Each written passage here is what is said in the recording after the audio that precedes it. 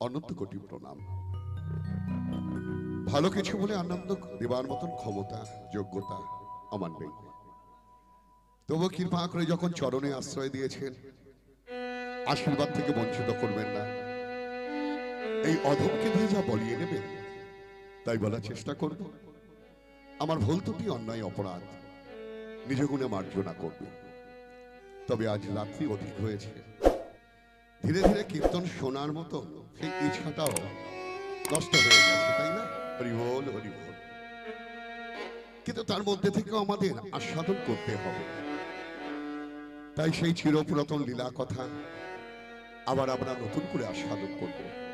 আমার এক ভক্তের আদেশে গৌর কথা অবলম্বনে এক ভক্তের লীলা কথা আপনারা জানেন, বহুবার আস্বাদন করেছেন। তবে লীলা তো নতুন করে হয় না। যা হয়ে গেছে, তা লীলা। তবে কোন ভক্ত যদি ভক্তি চিত্তে সেই চিরপুরাতন লীলা আস্বাদন করতে চায়, তবে প্রতি মুহূর্তে নতুন বলে বোধ হয়।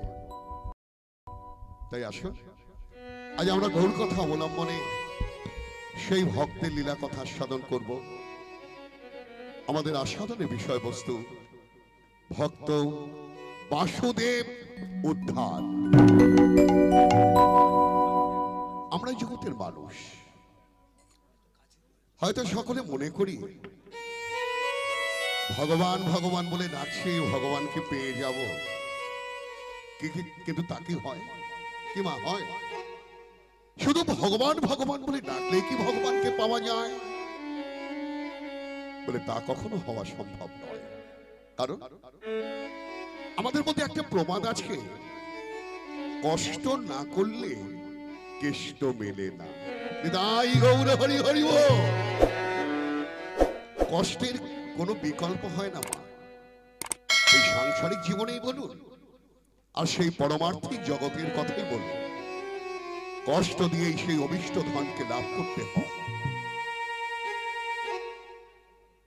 তাই তো ভগবানের পরীক্ষা ক্ষেত্রে জগৎ সংসার, জগতের মধ্যে কামনা, বাসনা, লোভ, লালসা চাওয়া পাওয়া, দুঃখ, কষ্ট, আনন্দ, ঐশ্বর্য। সমস্ত কিছু দিয়ে ভগবান পরীক্ষা করে নেন তার প্রিয় ভক্তকে।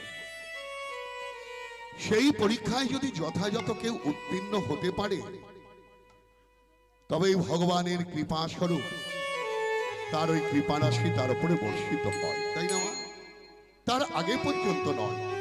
ভগবান ভগবান বলে ডেকে ভগবানের পায়ে তেল মাখালে ভগবানকে পাওয়া সম্ভব নয়। আমরা ভগবানকে ভালোবাসি, তাই না? বলুন তোমার কে কে ভালোবাসেন? একটু হাত তুলে দেখান তো। ভগবানকে কে কে ভালোবাসেন? সত্যি ভালোবাসেন তো? সত্যি না মিথ্যা? নাকি আমার মতো লোক দেখানো ভালোবাসা? অপরাধ দেবেন না। আমরা বেশিরভাগ মানুষ ভগবানকে আমাদের স্বার্থের জন্য আমরা ব্যবহার করি। বলে, প্রমাণ? মা, আপনাকে দিয়ে বলছি, কিছু মনে করবেন না হ্যাঁ? দুপুরবেলা ভাত খেয়েছেন? হ্যাঁ কি না? কি দিয়ে খেয়েছেন? কি দিয়ে খেয়েছেন? হ্যাঁ? ডাল ভাত সঙ্গে আর একটা তরকারি, তাই তো? কেউ কেউ বলে আমি মাছ দিয়ে খেয়েছি, কেউ বলে মাংস দিয়ে খেয়েছি, কেউ বলে ডাল ভাজা, আলু ভাজা, বেগুন ভাজা ইত্যাদি ইত্যাদি দিয়ে খেয়েছি, কিন্তু ভগবান আছে। ভগবানের সিংহাসন আছে। সেবা দিয়েছেন? ভোগ লাগিয়েছেন কি? নিতাই গৌর হরি ভগবানের ভাগ্যই নকুলদানা বাতাসা ছাড়া আর কিছুটি জোটে না। এই কি ভালোবাসার নমুনা? পারতেন। আপনার যদি একটা কোলের ছেলে থাকতো, সেই কোলের ছেলেকে আপনি বাতাসা খাইয়ে, আপনি ন্যায্য প্রিয় খেতে। এইটা আমাদের ভালোবাসা। রাধে রাধে। শাস্ত্রে বলছে, ভালোবাসার মতো ভালোবাসলে আপদে বিপদে সম্পদে কোনোদিন তাকে ভুলে থাকা যায় না। কিন্তু ভগবানকে আমরা বেমালুম ভুলে থাকি। যখন কষ্টে পড়ি, দুঃখে পড়ি, অভাবে পড়ি, অনটনে পড়ি, তখন ভগবান ভগবান বলে ভগবানের পায়ে তেল মাখায়। আমার কষ্ট দুঃখ চলে গেলে ভগবানের কথা কারও মনে পড়ে না লবডঙ্কা কিন্তু মাগো কাউকে যদি সেই ভালোবাসার হৃদয় সিংহাসনে বসানো যায়, আপদে বিপদে চলতে ফিরতে তার কথা কিন্তু কখনো ভুলে থাকা যায় না। এই জগতে যদি কোনো একটা ছেলে কিংবা কোনো একটা মেয়ে কাউকে ভালোবাসে, সদা সর্বদাই তার কথা মনে পড়ে। তা জাগতিক প্রেমে যদি এই অবস্থা হয়, তাহলে পরমার্থিক জগতের প্রেম করলে তাহলে কত না? আকুলতা থাকা প্রয়োজন। তাই মহাজন এক জায়গায় বলছে, দেখুন, আমরা তো গান শুনি। আমাদের মাইক দাদাদের দৌলতে। শুনি না? কত কত সুন্দর সুন্দর চিপে গান চালায়। একটা গান কিন্তু আমরা বেমাল শুনি? কিন্তু সেই গানকে অনুধাবন করার চেষ্টা করি না। অনেক অনেকে বলে, এই যুগে ভালো কোনো গানই শুনতে পাই না। মিথ্যা। এত খারাপের মধ্যে দিয়ে এখনও দু চারটে ভালো আছে। কিন্তু আমরা যেটা নষ্ট করেছি, শোনার মতো কান আর বোঝার মতো মন, এই দুটো নষ্ট করেছি। দেখুন, দুটো লাইন মনে পড়ল। অনেক আসলেই বলি গানটা একটু দু লাইন করছি, কিছু মনে করবেন না। জানি তাই। একটু স্টার্ট করো ভাই। একটা গান আছে না?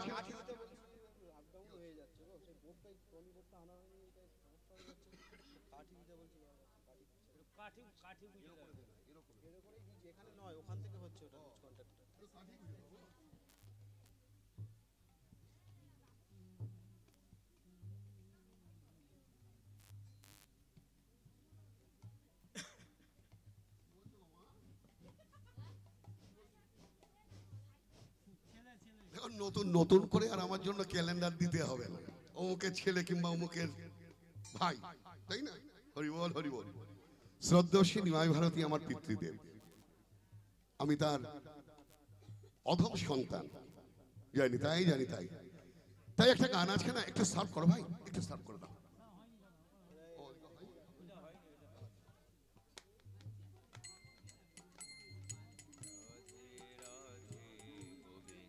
জয়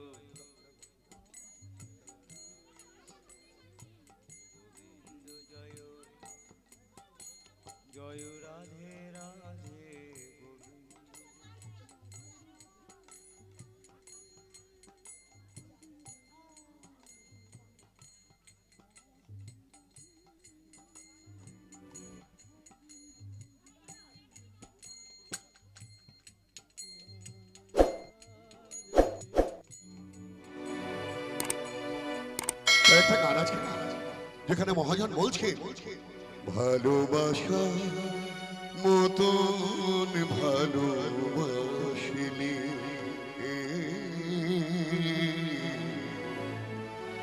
তাকে কি গো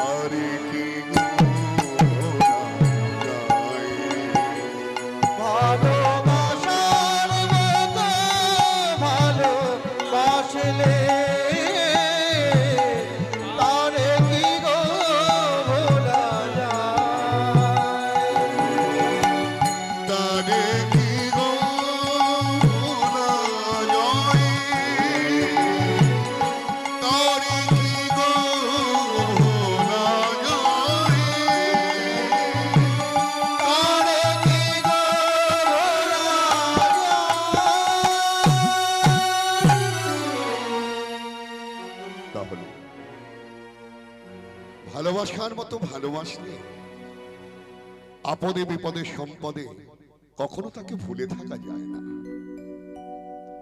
তবে সেই শ্রদ্ধা, ভালোবাসা কোথায় পাবো? কোনো হাটে বাজারে কিনতে পাওয়া যায় গো? নাকি কোনো গাছে ঝুলে থাকে?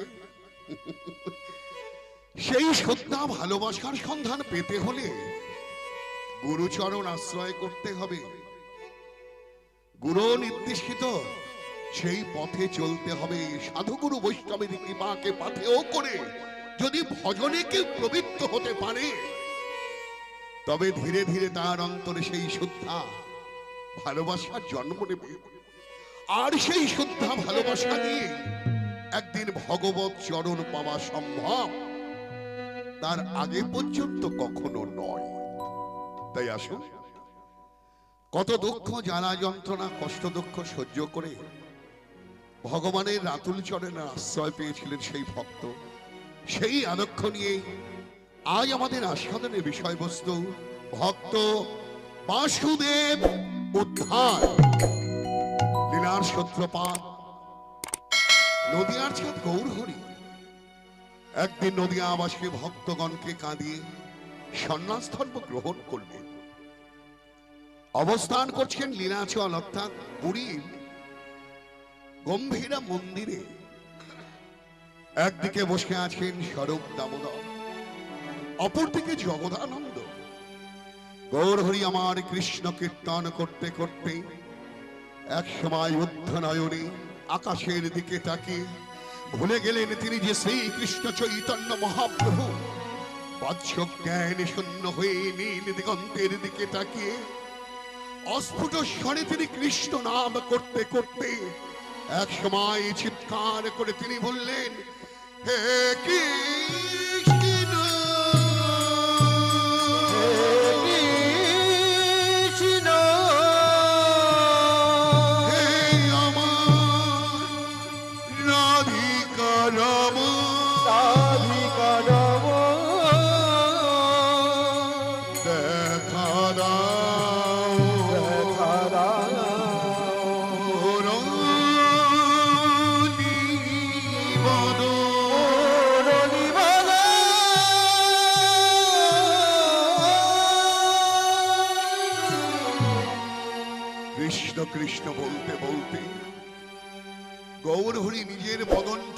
গম্ভীরার মেঝের মধ্যে ঘষছে। রোধীর নির্গত হয়ে গম্ভীরার মেঝে ভেসে গেল।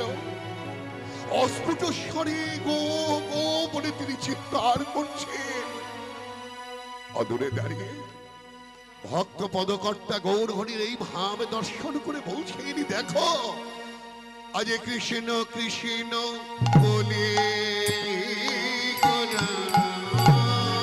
কৃষ্ণ কৃষ্ণ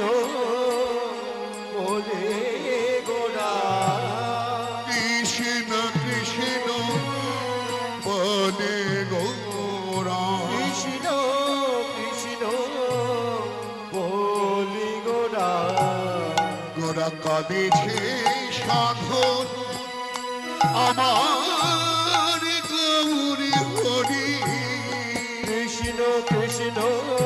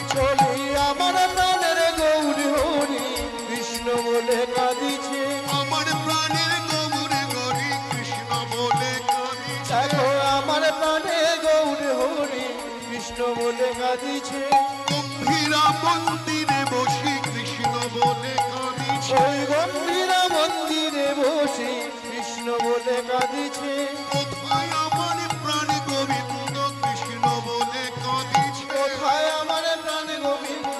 কৃষ্ণ বলে কাঁদিছে। নয়ন জলে কৃষ্ণ গো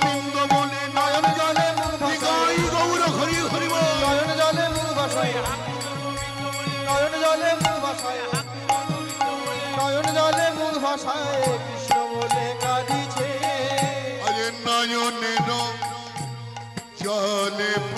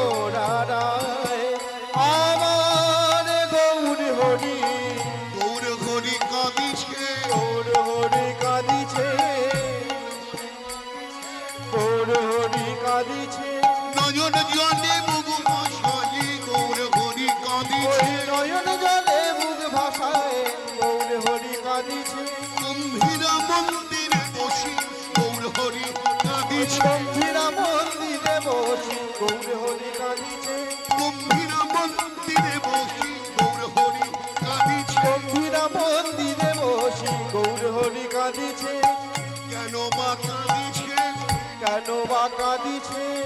কেন বা কাঁদিছে। কি কারণে কাঁদিছে? কেন বা কাঁদিছে কি কারণে কাঁদিছে? কেন বা কাঁদিছে। কি কারণে কাঁদিছে? কি কারণে কাঁদিছে? কি কারণে কাঁদিছে? কি কারণে কাঁদিছে?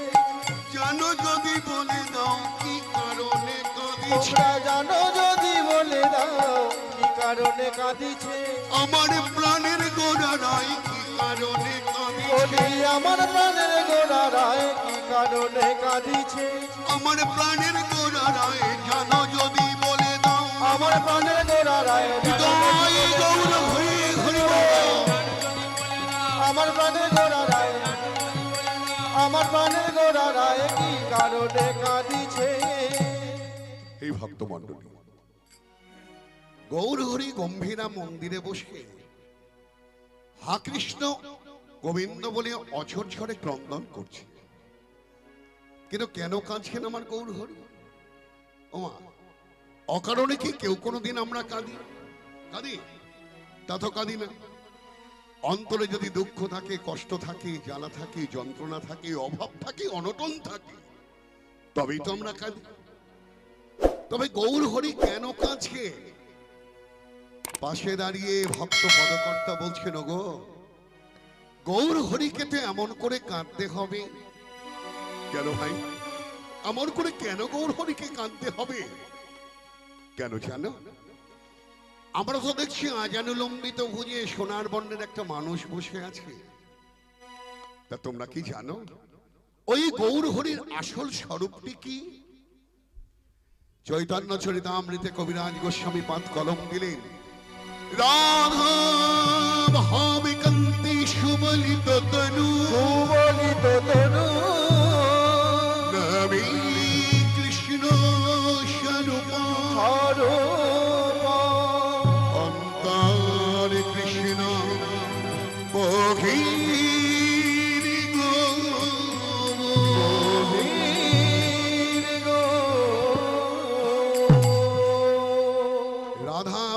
কান্তি সুবলিত তনু নবী কৃষ্ণ স্বরূপ অন্তর কৃষ্ণ, বহির গৌ তাই তো বলি।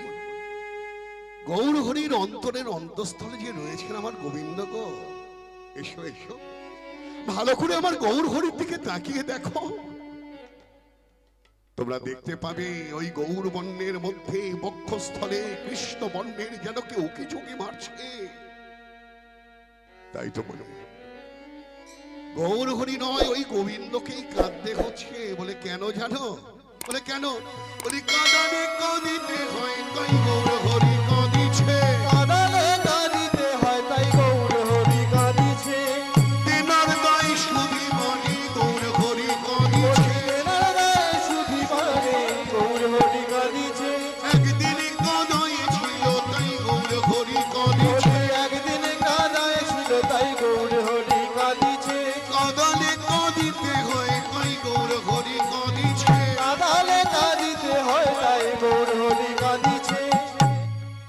মিথ্যা নয় গো মা। ইচ্ছায় হোক, অনিচ্ছায় হোক, জেনে হোক, না জেনে হোক, বুঝে হোক, না বুঝে হোক, কারও অন্তরে কখনো দুঃখ, কষ্ট, জ্বালা যন্ত্রণা দিলে গো মা। একদিন সেই জ্বালা যন্ত্রণা, দুঃখ, কষ্ট আপনাকেও ভোগ করতে হবে। এই নিয়মের বাইরে তো কেউ কোনোদিন যেতে পারেনি। যোগ অবতার রূপে যে ভগবান এসেছেন ধরাধামে, তাকেও কিন্তু নন্দন করতে হয়েছে চোখের জল। বলে, ভগবানের আবার কান্না? বলে নিশ্চয় প্রমাণ আছে কোথায়? ওই মহাভারতের পাতায়। কোন দিন? কবে? কোথায়? আপনারা জানেন, তবু একটু সংক্ষেপে আস্বাদন করি। কুরুক্ষেত্র রণাঙ্গনে আঠেরো দিন ব্যাপী যুদ্ধ শেষ। যুদ্ধের পরিণতি? পাণ্ডবগণ বিজিত হয়েছেন। একচ্ছত্র সম্রাট হয়েছে মহামতি যুধিষ্ঠি আর কৌরবগণ। একে একে সকল মৃত্যু রতল তলে তলিয়ে গেছে। কুরুক্ষেত্র রণাঙ্গনে শুধু হাহাকার মুখ ফেলা কান্না। চারিদিকে ছড়িয়ে ছিটিয়ে রয়েছে সবের পাহাড়। কোথাও কোথাও মৃত মানুষের মাংস ভক্ষণ করছে শিয়াল কুকুরে। কৌরব জননী মাতা গান্ধারী নিশিত অন্ধকারে চিৎকার করে রাখ নয়নের জলে মুখ ভাসিয়ে চিৎকার করে বলছেন, সুজন!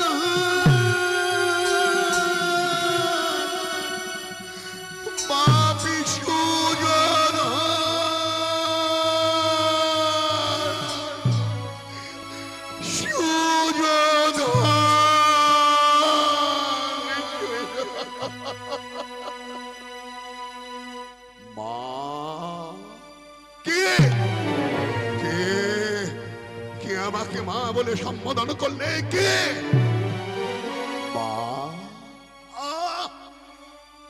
কে তুমি?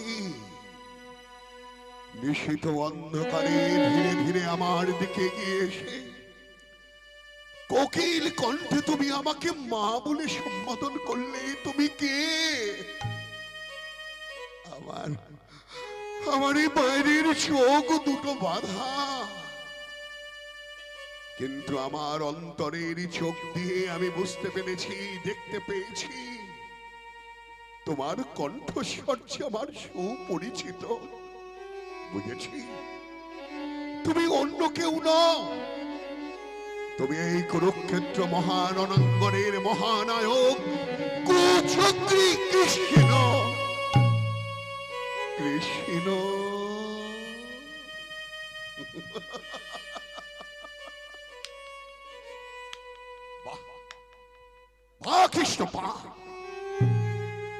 তোমার ওই ধর্মরাজ্য সংস্থাপনের নিমিত্তে আমার একশত পুত্রকে বড় প্রয়োজন হলো। বলো না, কৃষ্ণ, কেন কিনে নিলে আমার একশত পুত্রকে? আমার একশো পুত্রের মিতের সমাধির স্থলে তুমি স্থাপন করেছ তোমার ওই ধর্ম সিংহাসন ভালো করেছ। হ্যাঁ কৃষ্ণ, ভালো করেছ, খুব ভালো করেছ। কিন্তু বলো তো কৃষ্ণ ভারতে কি অধার্মিক আর কেউ ছিল না? বেছে বেছে আমার একশত পুত্রকে তোমার বড় প্রয়োজন হলো। ভালো করেছ। কিন্তু জানো কৃষ্ণ, লোকেরা তোমাকে বলে ভগবান। জানো কৃষ্ণ, সম্পর্ক সূত্রে আমি তোমার পিসিমা। তোমাকে আমি ভগবান বলে না মানলেও, এটুকু অন্তত মানে তুমি সাধারণ কোনো মানুষ নও। তুমি যে মহামানব শ্রীকৃষ্ণ।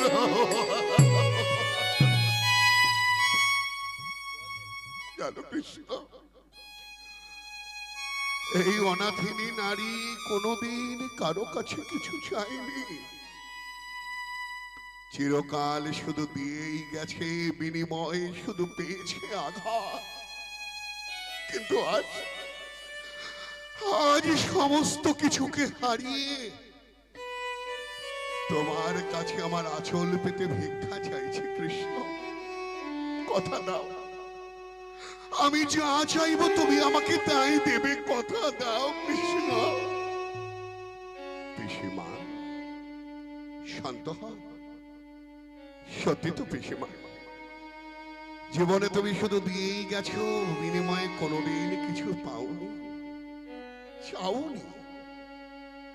কিন্তু আজ যখন জীবনের প্রথমবার তুমি আমার কাছে কিছু চাইবে, আমি কি কিছু না দিয়ে থাকতে পারি পিসিমা? তাই কথা দিলাম। আমার আয়ত্তের মধ্যে যদি হয়, তুমি যা চাইবে পিসিমা, আমি কথা দিলাম, তোমাকে আমি তাই দেব কৃষ্ণ, তুই আমাকে কথা দিয়েছিস, আমি যা চাইব তাই দেবী। তবে দাও, তবে অন্য কিছু চাই না, আমার হারিয়ে যাওয়া সিংহাসন চাই না। বিষয় বৈভব কুল শীল মান যশ খ্যাতি। এসব আমি কিছু চাই না। এমনকি আমার হারিয়ে যাওয়া একশো পুত্রকেও তোমাকে ফিরিয়ে দিতে হবে না। তবে কি জানো জানো জানো কৃষ্ণ আমার আমার ওই এক, একশো পুত্রের মধ্যে প্রাণাদিক প্রিয় পুত্র ওই সুযোধনকে তুমি ফিরিয়ে দাও। পিসিমা। এ তুমি কি চাইলে পিসিমা? আমি কি করে ফিরিয়ে দেব তোমার ওই সুযোধনকে বলতে পারো? নিয়তি নির্বন্ধ অনুযায়ী তাদের দিন ফুরিয়ে গেছে, তাই তো তারা চলে গেছে মহাকালীর পরপারে। সেখানে তো আমার কিছু করার নেই পিসিমা। মিথ্যে কথা! মিথ্যে কথা, কৃষ্ণ! তুমি আমাকে ভুল বোঝানোর চেষ্টা করো না। নিয়তি বলতে কোনো কিছু নেই। সমস্ত নিয়তির নিয়ন্ত্রণ হলে তুমি তুমি হলে কুচক্রী মহানায়ক শ্রীকৃষ্ণ। দিলে না? এত করে চাওয়া সত্ত্বেও তুমি দিলে না। তবে শোনো কৃষ্ণ, এই কুরুক্ষেত্র রণাঙ্গনে বসে আমি তোমাকে অভিসম্পাদ করলাম। পিসিমা! হ্যাঁ কৃষ্ণ! যেমন করে স্বজন হারানোর যন্ত্রণাকে বুকে নিয়ে কুরুক্ষেত্র রণাঙ্গনে আমি খুঁজে বেড়াচ্ছি, কেঁদে বেড়াচ্ছি। আমিও যদি সতী নারী হই, তোমাকেও একদিন স্বজন হারানোর যন্ত্রণায় কাঁদতে হবে কাঁদতে হবে কাঁদতে হবে। ভগবান মাথা পেতে বরণ করলেন সতীনারের অভিসম্পাদ তাই না? আর তার ফলস্বরূপ, কৃষ্ণচন্দ্রকেও একদিন চোখের জলে বুক ভাসিয়ে কাঁদতে হলো। কবে? তখন তিনি দ্বারকাধীশ। দ্বারকার সিংহাসনে বসে আছে। কিন্তু কৃষ্ণের পুত্র, পৌত্রগণ, অর্থাৎ ছেলে এবং নাতিগণ তারা যে বড় উচ্ছৃঙ্খল যে কৃষ্ণকে সবাই মান্য করে, ভক্তি করে, শ্রদ্ধা করে, আর তার পুত্রগণ? মদিরা ভক্ষণ করে মাতাল হয়ে প্রভাসের তীরে নল খাগড়া দিয়ে নিজেদের মধ্যে মারপিট শুরু করে দিল। এক সময় মনি ঋষিদের কাছে গিয়ে ছলনার আশ্রয় নিয়ে বললেন, বলুন তো এর গর্ভে কি আছে? কৃষ্ণের পুত্রের মধ্যে একজন ছিল একেবারে মেয়ের মতো। তার গর্ভে একটি ধামা বাঁধা হলো। তার মধ্যে একটু মুসল খণ্ড তার লোহার টুকরো দিয়ে দেয়া হলো। ঋষিবৃন্দের কাছে গিয়ে বলছেন, বলুন তো, এবারও প্রসব যন্ত্রণায় কষ্ট পাচ্ছে, কি আছে এর পেটে? মহর্ষি ধ্যান যোগে জানতে পারলেন সমস্ত কিছু। বলছি, যাও বাবা। তোমরা তো সামান্য নও। তোমরা হলো কৃষ্ণের পুত্র। আমারও বড় প্রণম্য। যাও ঘরে ফিরে যাও। যা আছে ভালোই আছে, তোমাদের ভালোই হবে। হয়েছে। বলার মতো ক্ষমতা রাখে না, অথচ ঋষিগিরি ফলানো হচ্ছে। দেখুন দ্রব্যের একটা গুণ আছে, অপরাধ দেবেন না মদিনা ভক্ষণ করলে ঝাল খেলে যেমন ঝাল লাগে, তেঁতুল খেলে টক লাগে, তাই না? নিম পাতা খেলে তেতো লাগে, মদ খেলেও নিজেকে ভুলে যেতে হয়। তখন হিতাহিত জ্ঞান শূন্য হয়ে যায়। তাই বলছে যে ঋষি, বড় বড় তো হ্যাঁ বুকনি ঝাড়ো। ওই যে বলতে যখন পারবে না, তখন তোমাদের আমি ভণ্ড ঋষি বলি সহ্যের একটা সীমা আছে। যখন নাকি সহ্যের সীমা লঙ্ঘিত হলো রাগান্বিত হয়ে বললেন, আরে আরে, পাপিষ্ঠ! ওর গর্ভে আছে তোদের বংশ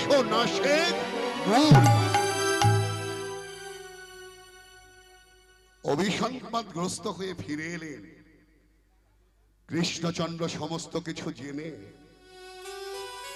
মনে মনে বিষাদ করছেন আর ভাবছে, হায় কত সাত করে দ্বারকা রচনা করেছিলাম। কিন্তু কি হবে? তাই স্থির করলেন তিনি। লীলা সম্বরণ করবেন কারণ পূর্ব প্রতিজ্ঞা ছিল। ত্রেতা যুগে বালিপুত্র অঙ্গদের কাছে তিনি কথা দায় ছিল। যেমন করে ওই বালিকে চোরাবারে বিদ্ধ করেছিল রামচন্দ্র। অঙ্গদ বলেছিল, হে প্রভু রামচন্দ্র, তুমি স্বয়ং পূর্ণ ব্রহ্ম নারায়ণ হয়ে যেমন করে আমার পিতাকে হত্যা করেছ, আমিও যদি সুপুত্র হয়ে থাকি, আমার হাতেই হবে তোমার রামচন্দ্র সেদিন বলেছিল, তথাস্ত। তবে এই যুগে তা সম্ভব নয়। আগত দাপর যুগে কৃষ্ণ অবতারে, আমি হব কৃষ্ণ, তুমি হবে জড়া ব্যাগ একদিন তোমার হাতেই আমার লীলা সম্বরণ হবে। তাই পূর্ব প্রতিজ্ঞা রক্ষার নিমিত্তে জড়া হালবাদের হাতে একদিন লীলা সম্বরণ করলেন কৃষ্ণ। তা যাই হোক, এই নিয়ে অনেক কথা আছে। তাহলে দেখুন, ভগবান হয়েও ধর্মরাজ্য সংস্থাপন করতে গিয়ে সতী নারীর অভিসম্পাদ তাকে বরণ করতে হলে। আর সেই অভিসম্পদ ফলবতী করতে গিয়ে কৃষ্ণচন্দ্রকেও চোখের জলে বউ ভাসিয়ে কাঁদতে কাঁদতে দিনাশম বরণ করতে হল। তাই পদকর্তা বলছেন, বলি কাঁদালে কাঁদিতে হয় তাই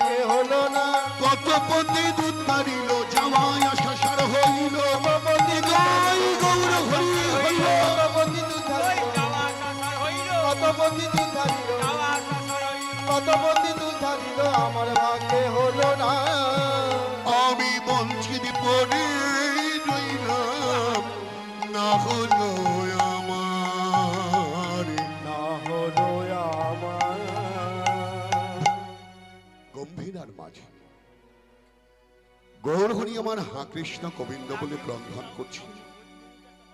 অকস্মাত গৌর হরি, কর্ণমূলে ভেসে এলো, কোথা থেকে কোন ভক্ত জানি? আকুল আগ্রহে আমার গোবিন্দকে ডেকে ডেকে, ভগবানকে ডেকে ডেকে কে ডেকে দে বলছে, কি বলছে গো? তুমি এসো তুমি এসো, তুমি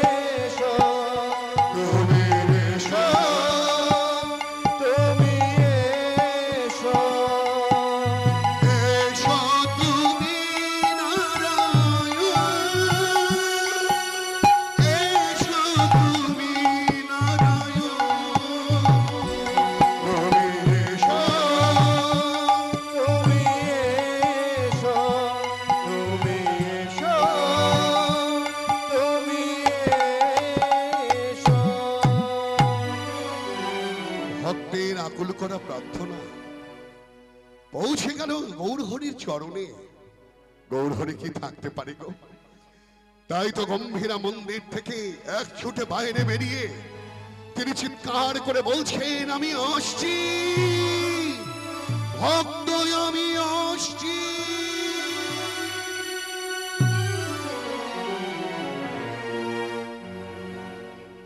গম্ভীরা মন্দির থেকে এক ছুটে গৌরহরি বাইরে বেরিয়ে গেলে। কিন্তু কে ডাকে গো? ডাকছে গো, ডাকছে। তবে লীলাচলে নয়। নীলাচল থেকে দূরে বহু দূরে দক্ষিণ দেশের কর্ম গ্রামে বাসুদেব নামে জনৈক ভক্ত। এই ভক্ত শুধু তিলকমালা কাটলেই ভক্ত সাজা যায়, ভক্ত হওয়া যায় না। দেখুন, ভক্ত কেমন করে হতে হয়। শিশুকালে বাবা মা দুজনেই হারিয়েছেন ওই ছোট্ট ছেলেটা। গ্রাম সম্পর্কে কাকার কাছে মানুষ। কাকিমা দুবেলা দুমুঠো রন্ধন করে দেয়, কোনোদিন খায় কোনোদিন খায় না। ঘরের বাঁধন তো তার নেই, কি করে থাকবে? বাবা মাই যখন রইল না, কেই তাকে স্নেহ ভালোবাসার বন্ধনে এই ঘরের মধ্যে আবদ্ধ করে রাখে? নেই বলতে ছেলেটার কোনো কিছু নেই গো। কোনো কিছু না থাকলেও শ্রী নারায়ণের চরণে রয়েছে অগাধ বিশ্বাস, ভক্তি আর ভালোবাসা। মনের দুঃখ কাকে জানাবে? কি মা? মনের মানুষ ছাড়া কি মনের কথা কেউ বোঝে না বলা যায়? তাই তো একদিন পথ চলতে চলতে নীল দিগন্তের দিকে তাকিয়ে বলছেন, নারায়ণ নারায়ণ কেন বাবার কাছে শুনেছি বাবা বলতেন যার কেহ নয়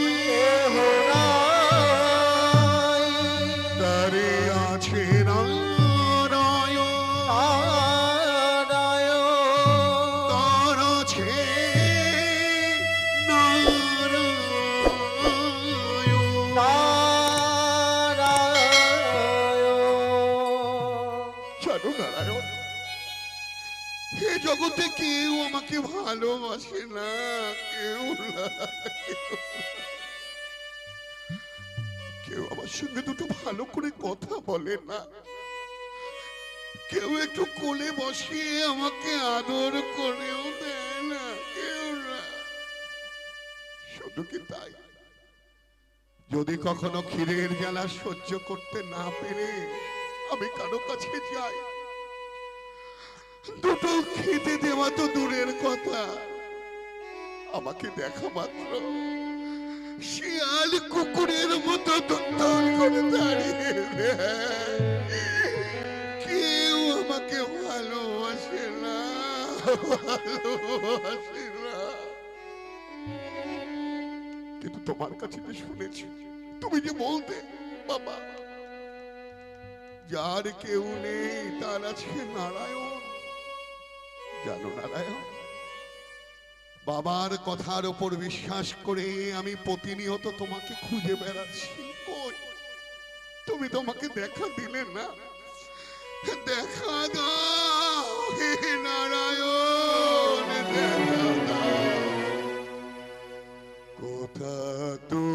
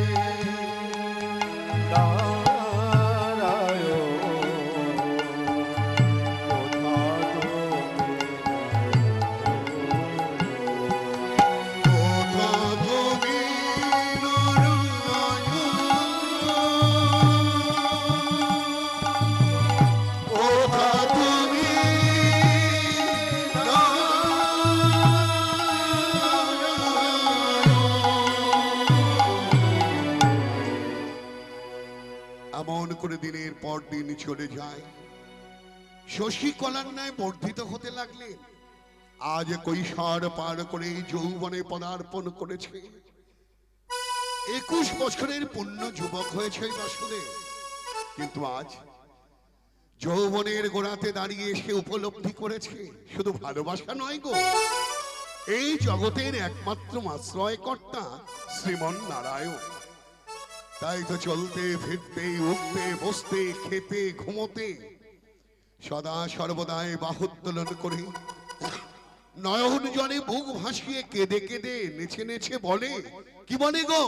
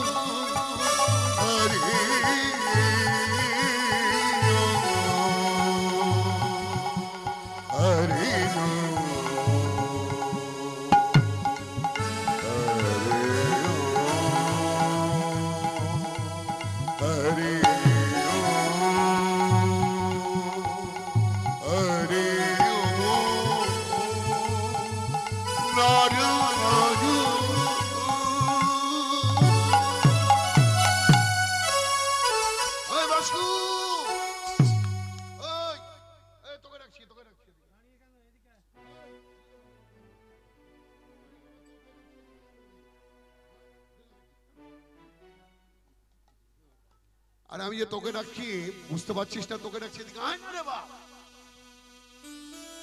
আমাকে কিছু বলছেন কাকা? হেই তোকে ছাড়া আর কাকে ডাকবো বল দেখি। এই তিন কুলে তো তুই আমার আর কেউ নেই রে তুই ছাড়া। এদিকে আয় এদিকে আয়। একদিন তুই ছোট ছিলি তাই আমি তোকে কিছু বলি এখন তো বড় হয়েছি, বুঝতে শিখেছি, ভালো মন্দ জ্ঞান তোর হয়েছে।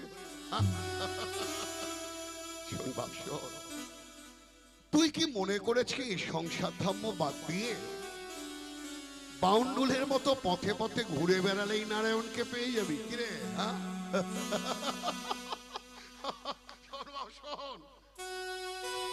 সংসার ধর্ম বাদ দিয়ে শুধু নেংটি পরে পথে পথে ঘুরে বেড়ালে নারায়ণকে পাওয়া যায় না।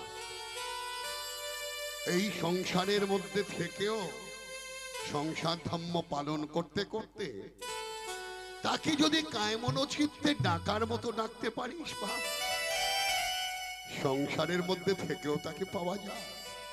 তাই তো বলি বাপ, তোর বাপ মরে যাবার সময় তাকে আমি কথা দিয়েছিলাম। তোর একটা বিধি ব্যবস্থা করে দিয়ে তারপরে আমার ছুটি। এখন তো বড় হয়েছিস বাপ আর দেরি কেন? বিষয় সম্পত্তি যেটুকু আছে বুঝে নে। আর সামনেই যে বিয়ের তারিখ আছে, সেই তারিখে একটা বিয়ে দিয়ে তোর সংসারটা গুছিয়ে দিতে পারলে আমি হাসতে হাসতে তোর বাপের কাছে চলে যেতে পারব খোকা, আপনি যা বলছেন সব সত্য কথা। কিন্তু কাকা গো সংসার যে আমার ভালো লাগে না। সংসার মানেই তো মায়ার বাঁধন ছাড়া তো আর কিছু নয়। যদি একবার ওই সংসারের বাঁধনে বাধা পড়ে যায়, তবে শ্রী নারায়ণের চরণ যে আমার পাওয়া হবে না। বলবেন না, কাকা, আমি ওই সংসারের জালে কিছুতেই আবদ্ধ হতে পারব না। তোর ছেলে কথা বললে কি হয়? এই, বিয়ে থাবা করতে তোর এত আপত্তিটা কোথায় বল এই যে তুনরে তুই যে দিন রাত চব্বিশ ঘণ্টা নারায়ণ নারায়ণ তোর সেই নারায়ণ কি বিয়ে করেনি? কি করেনি বল? নারায়ণ বিয়ে করেছে? করেছে।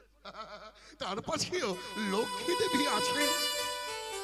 আমাদের ব্রহ্মা, সেও বিয়ে করেছে আহ? তার পাশেও সাবিত্রী দেবী আছে আর ভোলানাথের কথা আর কি বলব বাবা? তেনার তো আবার একটা বউয়ে মন পোষালো। একটা বউ মরল আর একটা বিয়ে করল। সবাই যখন বিয়ে করেছে, সংসার ধর্ম পালন করেছে, তোর এত আপত্তিটা কোথায়? ওই যে আমি আগেই বললাম, সংসার হলো মায়ার বাঁধন। ওই বাঁধনে যদি একবার বাধা পড়ে যায় শ্রী নারায়ণের চরণ তো পাবো না। তাই তো আপনার কাছে আমার স্বনির্বন্ধ অনুরোধ। কি অনুরোধ, খোকা? আমায় বেদনা।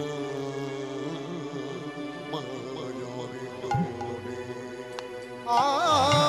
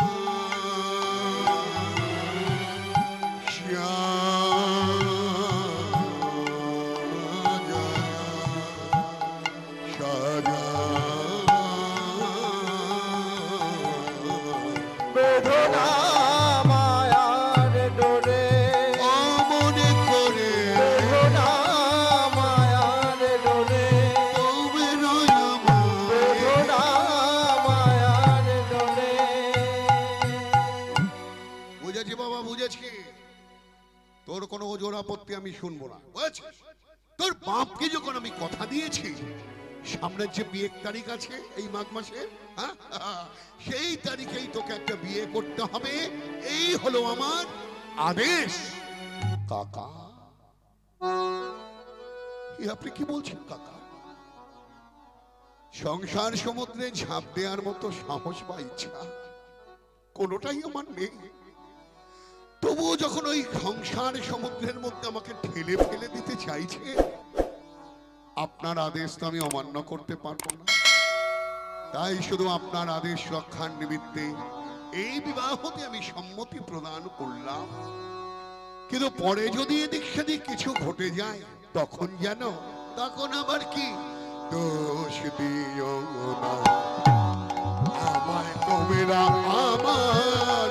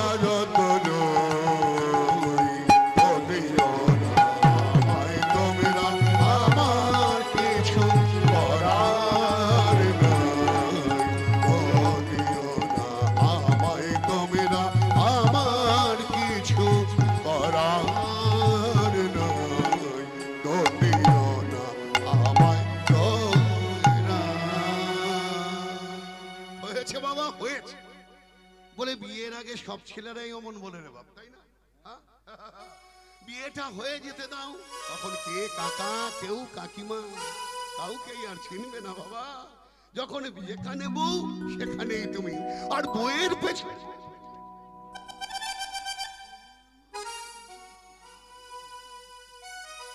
ভগবানের লীলা প্রকাশের নিমিত্তে কি হলো? তাই পদকর্তা বলছেন শুভ দিনে শুভক্ষণে বিবাহ হইল, আনন্দেতে মদম্মতি ঘরেতে জড়িল। শুভদিনে শুভক্ষণে বিবাহ হইল আনন্দেতে কাদম্বিনী ঘরেতে আইল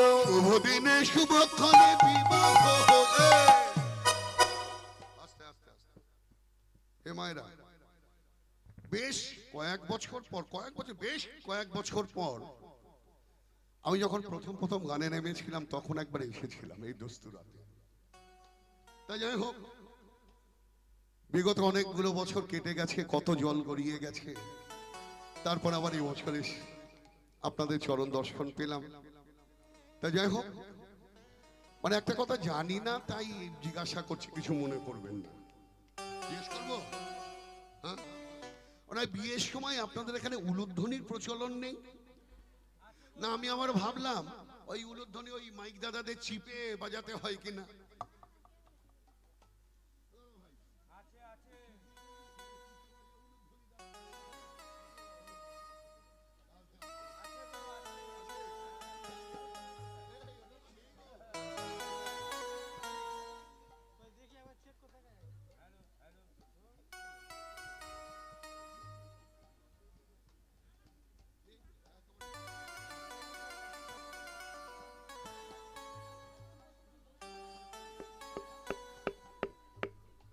Hello hello hello. তা যাই হোক আমরা তো এসছি বরযাত্রী। এবার ঠিক আছে। বিয়ে থামা দেবো পাওনা গন্ডা নেব খাওয়া দাওয়া করব চলে যাব। আবার কবে আসব কি না আসব তা তো জানি না। তবে আপনাদের গ্রামের মেয়ের বিয়ে তাই না? আপনারা যদি তার মঙ্গল চান তাহলে উলুধ্বনি শঙ্খধ্বনি করবেন। না হলে আমার কিছু বলার নেই। তাই গৌর হরি বল। শুভ দিনে শুভক্ষণে বিবাহ হইল। আনন্দেতে কদম্বিনী ঘরেতে জগিল ওই আনন্দেতে কাদম্বিনী ঘরেতে আইল। আনন্দ আর ধরে না রে। আনন্দ আর ধরে না রে। ধরে আনন্দে আর ধরে না রে। স্বামী আরও সংসার পেলে। আনন্দ আর ধরে না রে। স্বামী আরও সংসার পেলে। আনন্দ আর ধরে না রে। ধীরে কতদিন পার হইয়া যায়।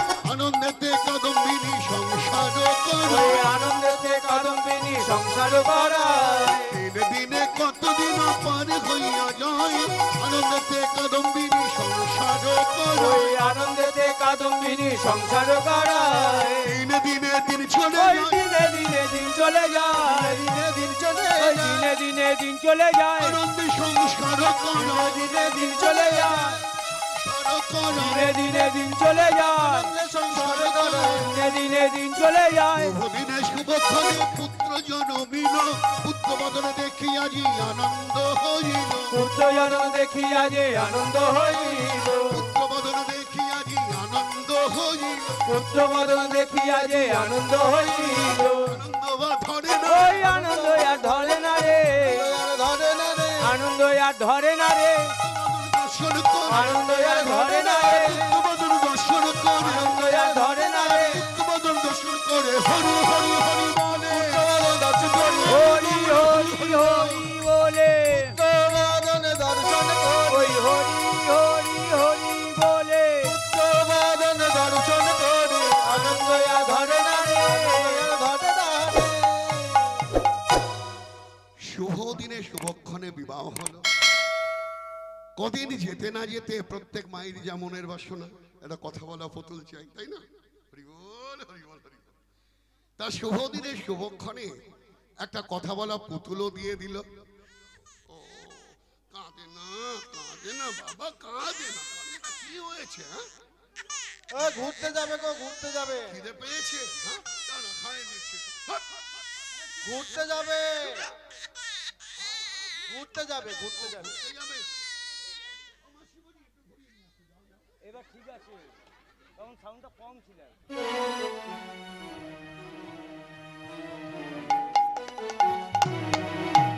জমিয়ে সংসার করছে হরি বল, হরি সুখের সংসার জমিয়ে সংসার করছে। কিন্তু সবকিছু পেয়েও যেন কাদম্বিনীর জীবনে কিছুই পাওয়া হলো না। ওমা, কথাটা একটু কেমন হলো তাই না? সমস্ত কিছু পেয়েও জীবনে কিছু পাওয়া হলো না। কথাটা অতি বাস্তব। বলে কেমন? দেখুন, অপরাধ দেবেন না মায়েরা। আপনাদের ফেলে আসা দিনের কথা একবার চিন্তা করুন তো। প্রত্যেকটা মেয়ের যখন বিয়ে থাবা ঠিক হয়ে যায়, আর হয়তো দু চার দিন বাকি আছে, প্রত্যেকেই ভগবানের কাছে কিছু না কিছু চায়। চেয়েছিলেন তো? কি হলো? বলুন। বলে শীতে সব জমে গেছে না? হ্যাঁ চেয়েছিলেন মিথ্যে কথা বললে হবে চেয়েছিলেন। তবে কি চেয়েছিলেন? ভগবানকে নিশ্চয়ই বলেছিলেন, ও ঠাকুর, টাকা দাও, পয়সা দাও, ধন দাও, দৌলত দাও, বাড়ি দাও, গাড়ি দাও, জমি দাও জিরের দাও। কি বলেছিলেন? কি? বলেননি বলেননি, সত্যি কথা। তবে কি বলেছিলেন? ভগবানের কাছে কি চেয়েছিলেন তখন? একটু মনে করে বলুন না। আস্তে। হ্যাঁ? না, দিদিরাই চায়। না, দাদারা চায়। চায় না, সে কথা বলব না। দাদা চায় ভালো দেখে একটা বউ হোক। এটা দাদারা চায়। আর ঠিক তেমনই দিদিরাও চায়, তখন কিন্তু সেই মুহূর্তে মা ভগবানের কাছে টাকা পয়সা ঘর বাড়ি ধন দৌলত চায় না। শুধু চায় ঘরটা আমার যেমন হোক তেমন হোক বরটা যেন মনের মতো হয়? বলে কেমন বর? একেবারে রিমোট দিয়ে যেন কন্ট্রোল করতে পারে। এইরকম বর। যদি বলে, "এই, বসো। চলো। হাসি দেখেছ? হ্যাঁ? রাধে রাধে হ্যাঁ কান ধরে যেন বসাতে পারি আর উঠাতে পারি। রাধে রাধে। দেখুন, এ নিয়ে লজ্জা পাওয়ার কিছু নেই, কারণ চাইবার রাইট আপনাদের আছে। কেন চাইবেন? যার সঙ্গে সারাটা জীবন কাটাবেন, সে যদি মনের মতো না হয়, তাহলে কি সুখে শান্তিতে সংসার করতে পারা যায়? কথাটা অতি বাস্তব। দেখুন, একটা বিয়ে মানে দুটো দেহের মিলের নাম কি বিবাহ? বলুন তো মায়েরা দাদা ভাই তোমরাও বলবে। দুটো দেহের নাম, মিলনের নাম কি বিবাহ? হ্যাঁ? হ্যাঁ না বলবে তো। কচু, তুমি লবণঙ্কা তাই যদি হয়, অনেক, এই সংসারে অনেক অবৈধ সম- সম্পর্ক আছে। অনেকের অভ্যাস আছে যে নিষিদ্ধ পল্লীতেও যাওয়া। তার মানে কি সে বিবাহ করেছে? আচ্ছা বিবাহের আসল মানে কি জানো? দেখুন, আড়াই তিন ঘণ্টা ধরে অনেক মন্ত্র পড়ানো হয়। যেসব মন্ত্রগুলো পড়া হয়, ওই বেদের আচার বিচার করতে গিয়ে অনেক মন্ত্র যাগ যজ্ঞ ইত্যাদি করতে হয়। কিন্তু বিয়ের প্রধান মন্ত্র বলতে ওই একটাই। যারা আমরা বিয়ে করেছি, সাজনাতলায় গিয়ে তারা সবাই বলেছিলাম। কি বলুন তো?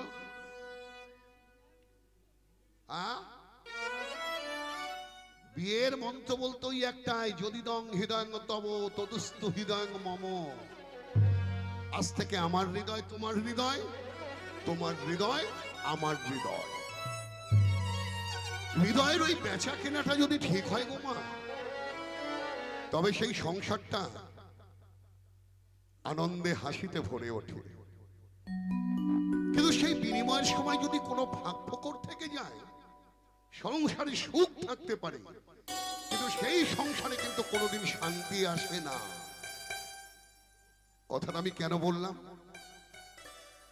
কাদম্বিনী মনের মতো ঘর পেয়েছে বটে। কিন্তু বরটা তো মনের মতো হলো না। বলে কি করে হবে? দুজনে যে দুমেরুর বাসিন্দা কাদম্বিনী চায় কাম কামনা লোভ লালসা নিয়ে এই সংসারের মধ্যে থাকতে আর পাঁচটা মেয়ের মতো। কিন্তু বাসুদেব সে প্রকৃতির মানুষ নয়। বাসুদেব চায় কাম কামনা লোভ লালসা। সমস্ত কিছু শ্রী নারায়ণের পাদপদ্মে অর্পণ করে এক মনে নারায়ণের সেবা করতে।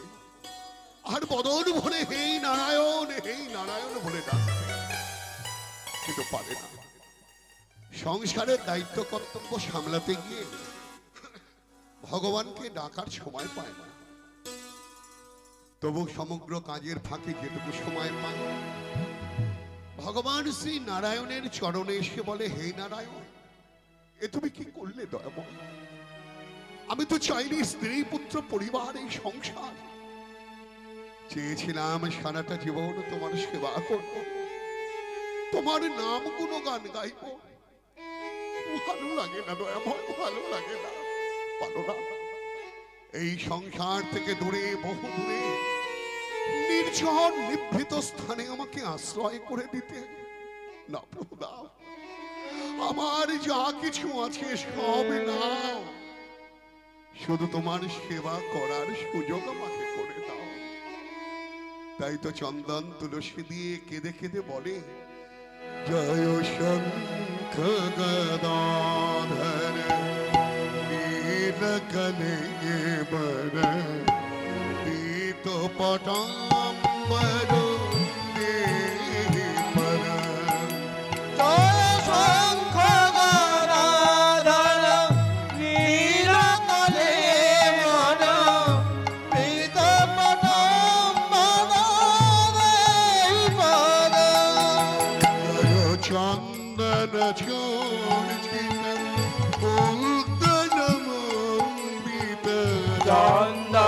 চন্দন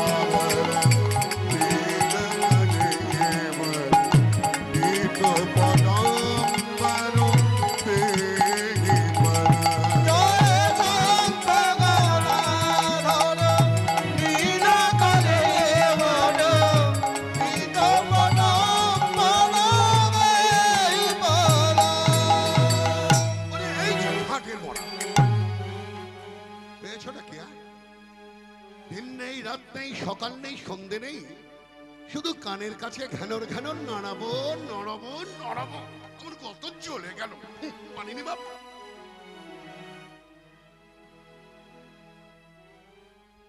বলে, কে গো? পাড়া প্রতিবেশী কেউ? বলে, মোটেই না। ওই যে আগেই বললাম, মনের মিল যদি না হয়, তাহলে সংসারে অশান্তি লেগেই থাকে গো মা। তাই তো ওর সতী সতীসাধ্যী স্ত্রী কাদম্বিনী এসে বলছে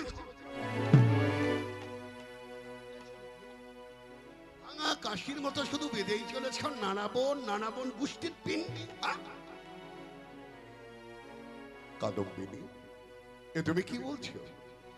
উনি তো নারাবণ নন, উনি হলো শ্রীমন নারায়ণ। রেখে দাও বাপু, রেখে দাও।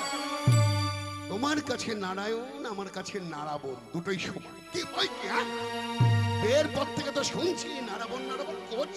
কি দিয়েছে তোমার ওই নারাবণ আর কি দিয়েছ তুমি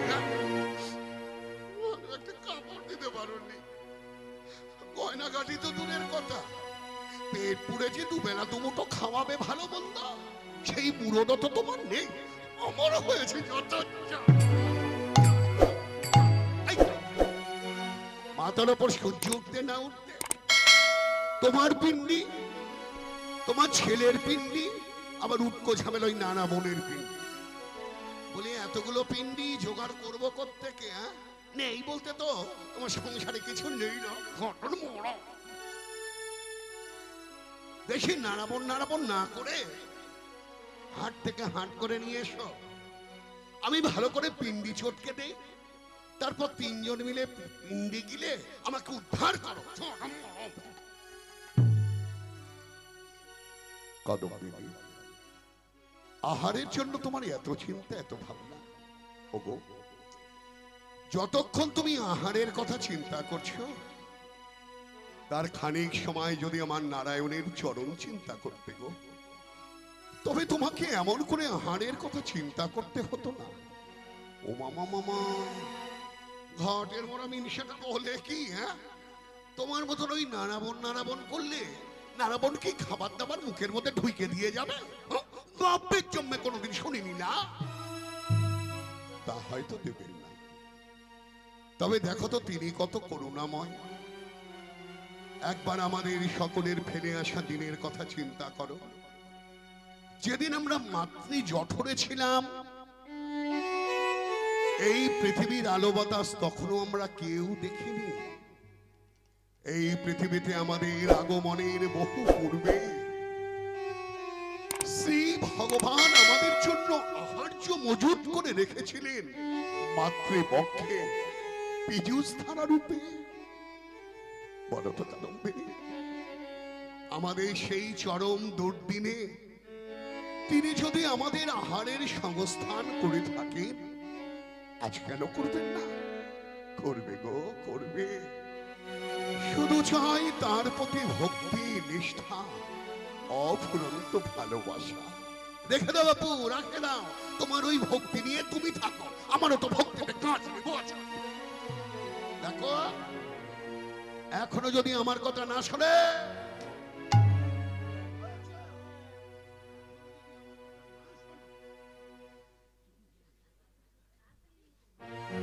আমি ওই সতী লক্ষ্মী মায়ের সতী লক্ষ্মী মেয়ে। এখনও যদি আমার কথা না শোনো, সংসারের প্রতি মন না দাও, তবে নিঘাত একদিন অসময়ে তুমি মরবে মরবে মরবে। কি বললে কাদম্বিনী তুমি আমার ধর্মপত্নী হয়ে আমারই মৃত্যু কামনা করছ? হরিনারায়ণ হরিনারায়ণ। ওগো যদি সত্যি সত্যি আমার মৃত্যু হয়, আমি তো চলে যাব। কিন্তু তোমাকে যে সারা জীবনটা বৈধব্য যন্ত্রণা ভোগ করতে হবে ঢের ভালো তোমার মতন ওই নিমুরুদের স্বামীর থেকে বেদাবা হয়ে থাকা ঢের ভালো। আচ্ছা, আচ্ছা। ও তাই বুঝি। তাহলে তুমি ধীর সিদ্ধান্ত উপনীত হয়েছ। মৃত্যু আমার অভিসম্ভাবী তাই না? আচ্ছা বলো তো কাদম্বিনী আমার এই সুস্থ সবল দেহ তবুও যখন চাইছো আমার মৃত্যু হবে আচ্ছা বলতে পারো? বলতে পারো কাদম্বিনী কি করে আমার মৃত্যু হবে? আহ, তুমি মনে করছ তোমার সঙ্গে মস্করা করছি, তাই না? দেখো, আমি সতীলক্ষ্মী মায়ের সতীলক্ষ্মী মেয়ে। আমি যখন বলেছি তুমি মরবে, তখন তুমি অকালে একদিন মরবে মরবে। আর কি করে মরবে জানো? ওই আকাশ থেকে বিনা মেঘে বাজ পড়ে, তুমি মরবে মরবে।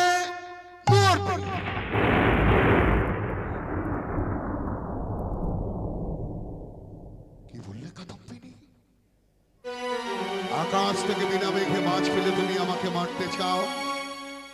পারবে না কাদম্বিনী। আকাশের ওই কালো মাছ আমার কোনো ক্ষতি করতে পারবে না। কেন? কি করবে তুমি? তুমি কি ভুলে গেছো? কি ভুলবো? আশ্রয় লইয়া ভাগে। লইয়া ভজে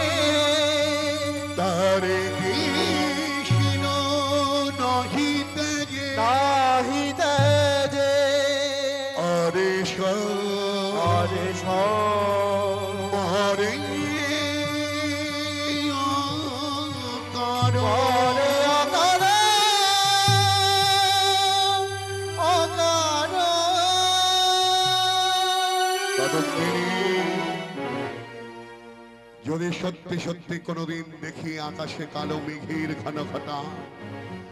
সেই কালো মেঘের বুক চিরে বাজ নেমে আসছে আমার মৃত্যুর কারণে।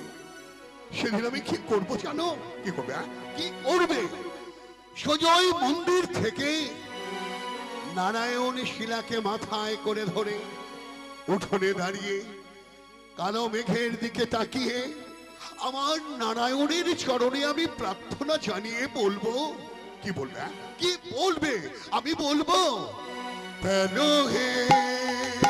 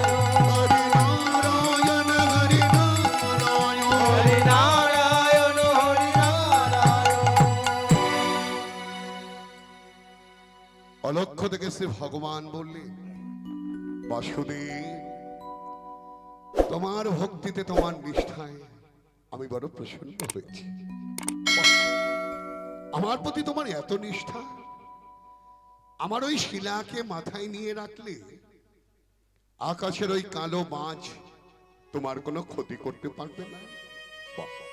প্রসন্ন হয়েছে ভক্ত।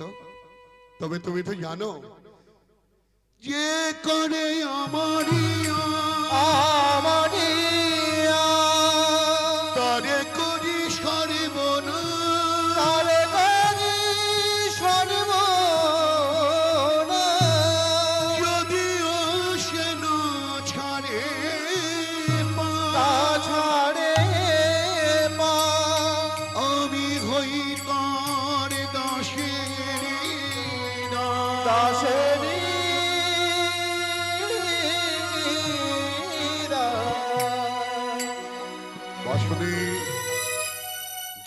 করে আমার আশ তার করি সর্বনাশ।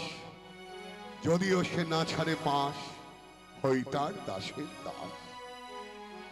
সেই পরম বস্তু পাওয়ার আগে তোমাকে যে চরম পরীক্ষায় উত্তীর্ণ হতে হবে বাবা। আর সেই পরীক্ষার নিমিত্তে তোমার সর্বাঙ্গে প্রদান করলাম মহাব্যাধি কুষ্ঠ।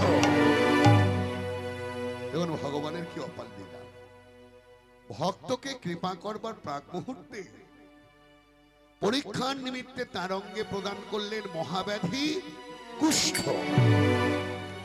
ফলে কি হলো গো? পদকর্তা তাই বলছেন, দিনে দিনে বাসুরে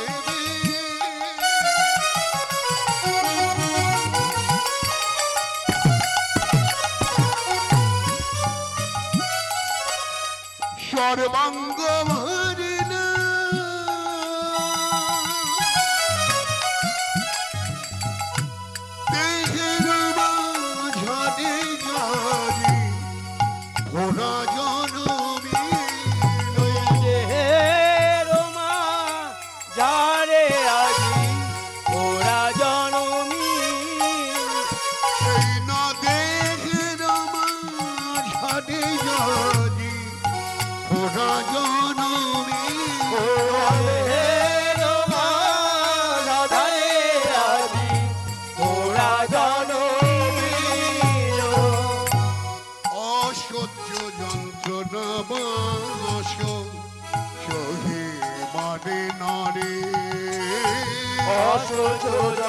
to now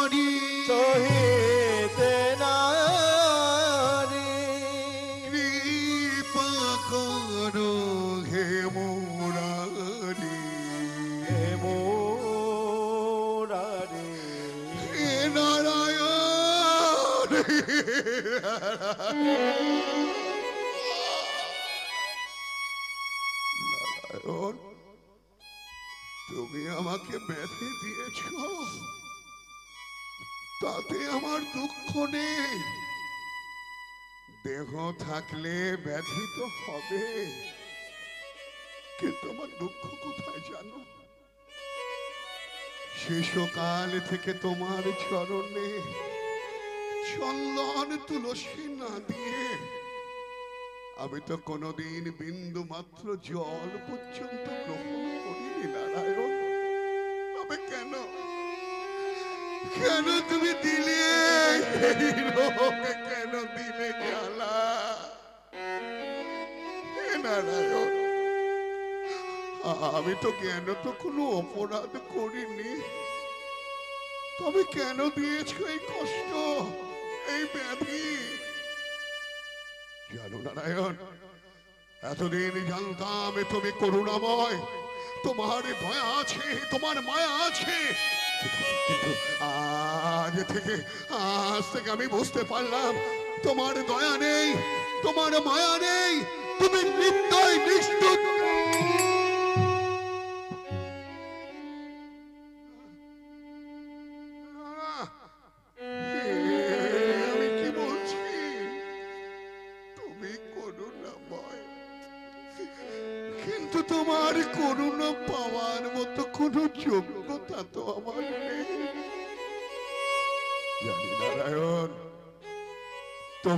অকারণে কোনোদিন কাউকে শাস্তি দাও না বুঝেছি এই জন্মে কোনো অপরাধ না করলেও ফেলে আসা কোনো জন্মে হয়তো অপরাধ করেছিলাম তাই তো সেই অপরাধের শাস্তি স্বরূপ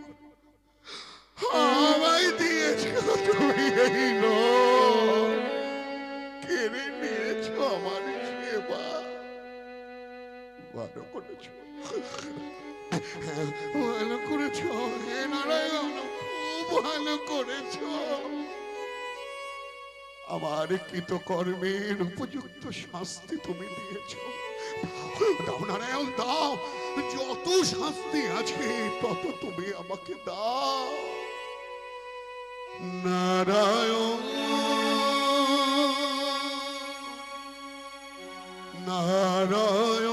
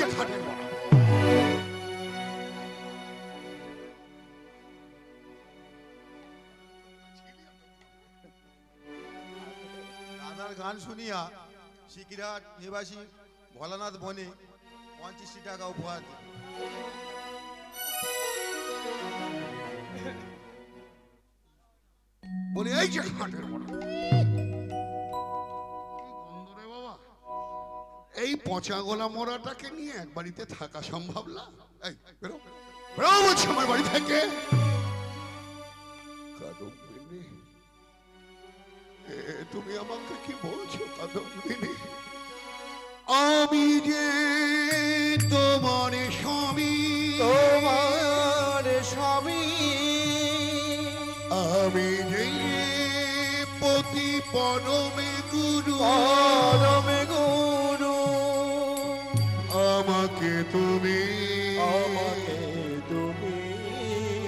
দাঁড়াই দিও না তারায় দিও না কাদম্বিনী আমি যে তোমার স্বামী পতি পরম গুরু। এই যে খাটের মরা। খেতে দেয়া পড়তে দেয়ার মুরদ্দে অথচ স্বামীগিরি ফলাতে এসেছ হ্যাঁ? এই যে তুমি আমার স্বামীটা আমি কিছু নাও, তোমাকে দেখলে পরে আমার বমি আছে! বাবা? বেরো বেরো, বলছি আমার বাড়ি থেকে এই যে আমার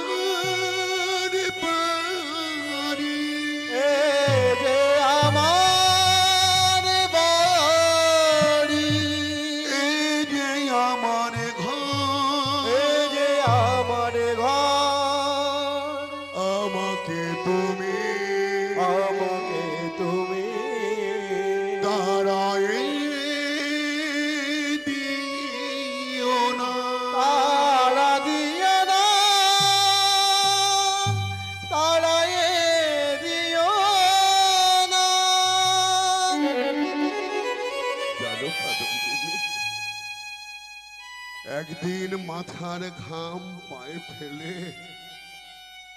তিল তিল করা সঞ্চিত অর্থ দিয়ে তৈরি করেছিলাম এই বাড়ি।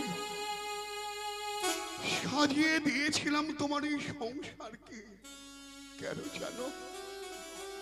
শুধুমাত্র তোমাদের সুখে রাখার জন্য। আর আজ আমার অসুস্থতার সুযোগ নিয়ে তুমি আমাকে বাড়ি থেকে পার করে দিতে চাইছো?